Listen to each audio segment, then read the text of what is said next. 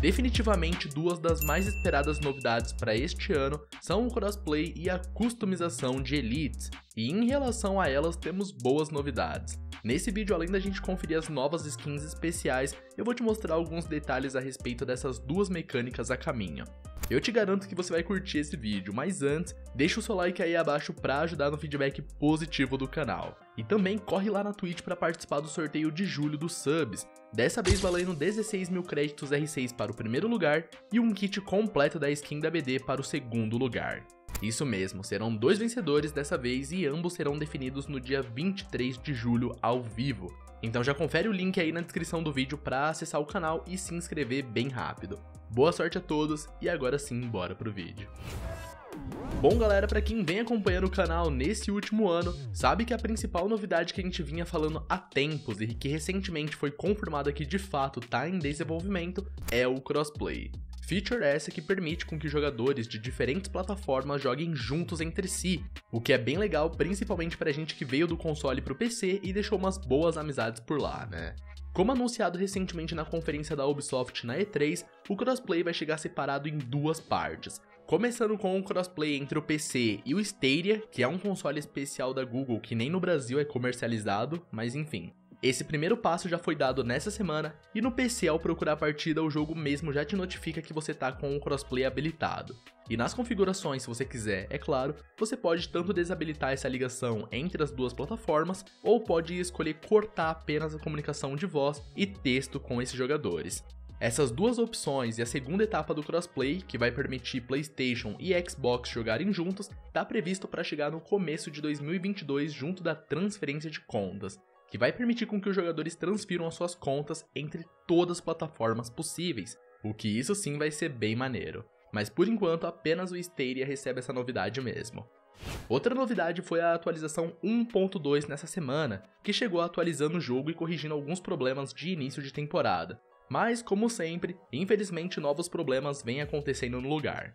Como, por exemplo, você não conseguir abrir os alpha packs competitivos e os seus armamentos continuarem resetando principalmente. Mais problemas serão corrigidos na atualização 1.3, que deve ser o patch de mid-season que tem como destaque aqueles balanceamentos de operador que todos nós adoramos, né? Outras duas novidades que esse patch trouxe também foram dois novos pacotes cosméticos, um para o Castle, inspirado na liga norte-americana, e o outro um Elite para o Mose. Começando pelo Castle, como parte do R6 Share, você pode comprar esse pacote e ajudar o competitivo do jogo com um valor de 1.200 créditos R6, o que vai te desbloquear um traje completamente estilizado com o visual da Liga Norte-Americana, incluindo a proteção de headgear com a escrita Liga Norte-Americana também. Em termos cosméticos, a UMP recebe uma nova skin de arma, e também um amuleto universal, ambos tematizados da Liga Norte-Americana do Siege. As skins por si só não são lá aquelas coisas, mas para quem curte o operador e tá com uma grana livre, vá em frente e aproveite. A segunda novidade cosmética é o pacote Herói Dead Set do Mose. Esse é o primeiro pacote Elite da temporada que adiciona um novo traje de bombeiro pro operador, incluindo até uma ferramenta com o ícone do Mose nas costas.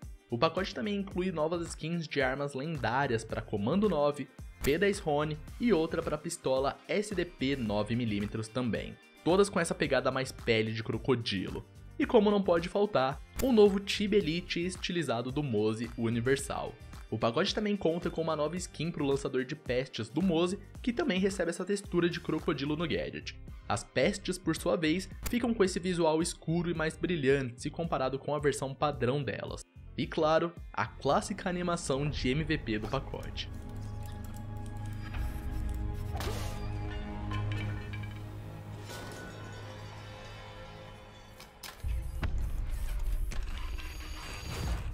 E no geral, esse foi um pacote que surpreendeu a todos, principalmente porque a especulação principal era que o Lion Elite chegaria primeiro nessa temporada, mas como a gente viu, a animação e o pacote também não pareciam estar nada prontos. Então, para cumprir o cronograma, talvez eles tenham adiantado o Mose Elite e estejam pulindo e finalizando o Lion Elite para o final da temporada. Já que é um pacote em parceria com a Capcom, eles não vão querer fazer feio, né?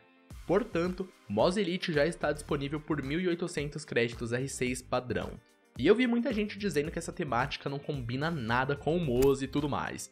Mas Abrindo o perfil do operador e lendo poucas linhas da sua lore, a gente descobre que o Mose recebeu uma medalha nacional de emergência após resgatar bombeiros durante um incidente na cidade de Esperance, na Austrália. Sem contar que uma das suas operações de destaque na Rainbow inclui a assistência em situações de desastre.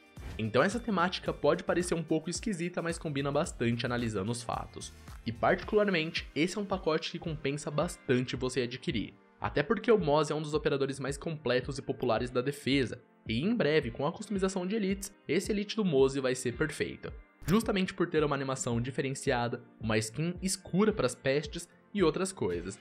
Inclusive, o Kilatri no seu perfil do Twitter já até antecipou algumas combinações que a customização de Elite vai permitir. Como essa versão do Moz Elite com o traje da TSM, ou, por exemplo, do Kaeb Elite com a coleção fantasmagórica recém-lançada.